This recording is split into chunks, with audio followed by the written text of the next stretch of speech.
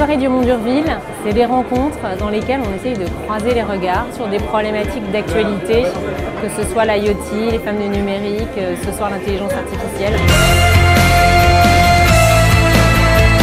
On est parti dans le crapaud fou, c'était Cédric Villani et moi. On se disait, mais avec tout ce qu'on sait faire, tout ce qu'on sait, tous les rapports, ça change pas assez vite.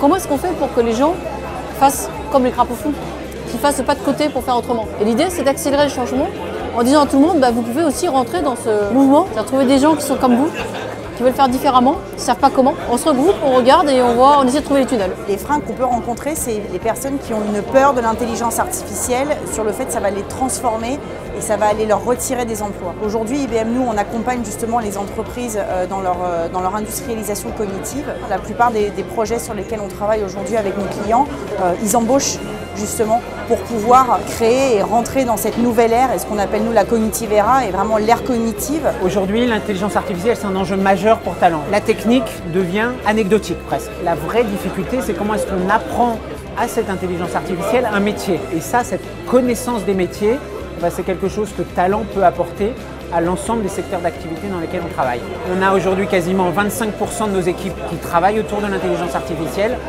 Demain, on souhaiterait que ce soit un tiers, voire 50% qui travaillent uniquement sur ces thématiques-là.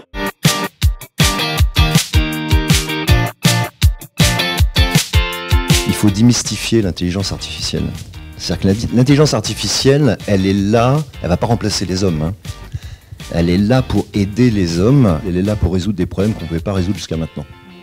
C'est ça qu'il ne faut pas oublier. L'intelligence collective, pour moi, c'est euh, la seule chance qu'on ait à notre disposition de battre l'intelligence artificielle. Donc ça veut dire que ça concerne n'importe qui, que ce soit une société privée ou une société collective, voire une nation. Et je ne vois pas très bien comment pour arriver à le faire sans arriver à mieux communiquer. En fait, c'est un enjeu de communication. ce qui m'a particulièrement intéressé dans les crapauds fous, c'est parti d'une rencontre pour moi, c'est de la rencontre avec Tan. Le point de départ, c'est un set de valeurs communes. L'envie, au moins d'essayer, de réfléchir, de faire bouger les choses. Ça ne veut pas dire qu'on va réussir, mais en tout cas, déjà, de mettre l'intention et de travailler pour. Si on reste dans des cercles où tout le monde pense pareil, forcément, il n'y aura pas de changement. Ce qui fait la richesse des rencontres du Mont d'Urville, c'est justement cette euh, hétérogénéité dans les regards qu'on arrive à croiser.